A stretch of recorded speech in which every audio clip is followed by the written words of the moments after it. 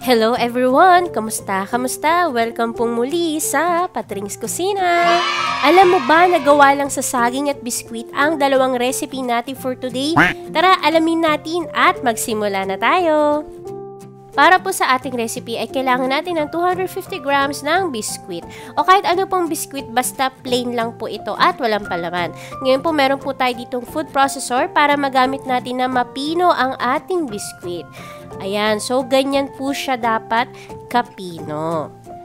By the way guys, bago tayo magpatuloy ay pakilike na po ang aking video. Ngayon po, meron po tayo ditong apat na saging. So, ito po ay lakat na...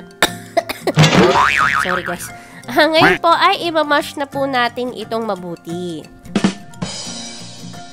So, ayan, kapag durug na durug na yung puso mo, este, yung uh, saging pala, ay ihalo na natin ito sa ating uh, dinurog na biskwit. Ayan.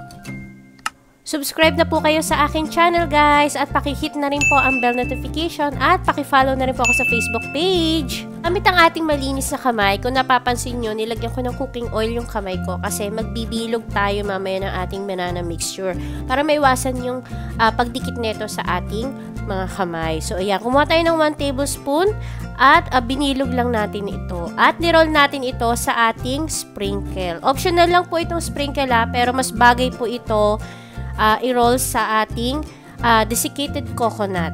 O di kaya yung fresh nyog na mismo, 'di ba? Ngayon naman po sa isa pang option natin ay nag-flatten naman tayo nito at dinip natin ito sa ating sesame seeds. Itong banana balls natin ay pwede na natin itong i-store sa ating fridge kasi ready to eat naman ito. Tapos ito naman ay i-fried natin ito later. Ayan, kung nakikita nyo, fina-fried na natin ito gamit ng ating coconut oil. Mukha bang familiar? Di ba mukha siyang binangkal pero flat?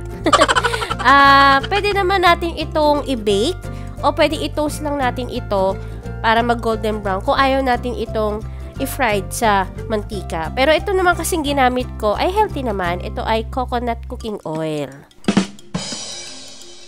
So, ayan, kapag nag-golden brown na ito, ay ilagay na natin ito sa ating paper kitchen towel para ma-drain yung excess oils nito. Okay, dito na tayo sa ating shoutout session. Shoutout po kay Ma'am Daisy Pasukin, Marilu Kunanan, at kay Ma'am Cherry Apple Balanag. So, ma'am, hindi po ako chef. Ordinaryong nanay lang po ako na mahilig magluto. I love you all, mama.